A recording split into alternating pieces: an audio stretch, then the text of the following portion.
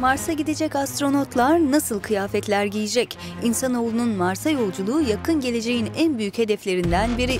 Rhode Island Tasarım Okulu öğrencileri Kızıl Gezegen'e yolculukta tercih edilecek ergonomik kıyafetler üzerine çalışmalar yürütüyor. Tasarımları Hawaii'de bulunan Mars simülasyonu High Seas'da deneniyor. Bu kıyafeti High Seas için deniyoruz ve tasarlıyoruz. Burası bir Mars simülasyonu. Astronotların görevlerini gerçekleştirirken hangi kıyafetin daha faydalı olacağını araştırıyoruz. Ve çalışmalarında yardımcı olacağını düşünüyoruz. Hawaii Uzay Keşif Analog Simülasyonu ekip lideri Andre Stewart, denemelerin Ağustos ayına kadar süreceğini belirtti.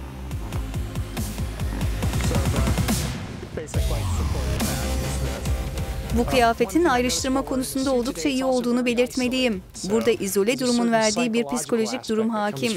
Bu konuda çalışmalarımız devam ediyor.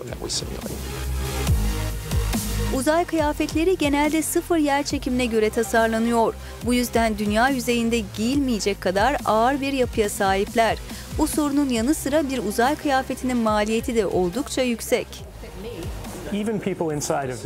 NASA'da görevli kişiler bile bazen gerçek bir uzay kıyafetine sahip olamazlar. Bir tanesi için milyon dolarlar harcanıyor. Şimdi satın alınabilecek makul fiyatlı tasarımlar üzerine çalışıyoruz. Bu uzay kıyafeti ekipmanıyla beraber 10 bin dolara mal ediliyor.